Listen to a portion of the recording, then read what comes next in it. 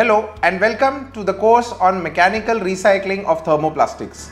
My name is Dr. Prashant Gupta and I am a trainer with the Polymer Update Academy and I am going to be the trainer for this course. The market for recycled thermoplastics is growing rapidly and is driven by increasing consumer demand for sustainable products and a push towards a circular economy.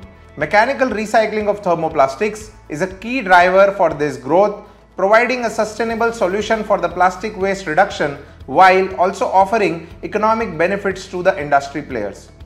By embracing mechanical recycling, companies can reduce their carbon footprint, save on costs, and meet regulatory requirements for sustainable waste management.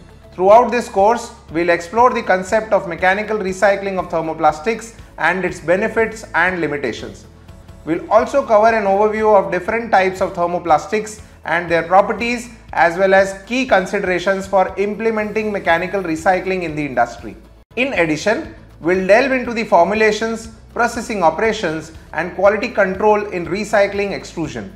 We'll cover the stages in mechanical recycling methods for thermoplastics and understand the extrusion process that is used for mechanical recycling.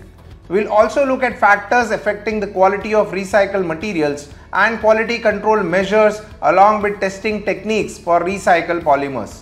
We'll explore formulations for recycled polyethylene terephthalate, recycled polypropylene, recycled polyethylenes, recycled acrylonitrile butadiene styrene, recycled nylon, etc. and optimize them for processing. Furthermore, we'll discuss the standards and regulations for recycled thermoplastics including an overview of international and local regulations. We'll examine the quality and safety requirements for recycled materials and best practices for compliance with regulations and standards.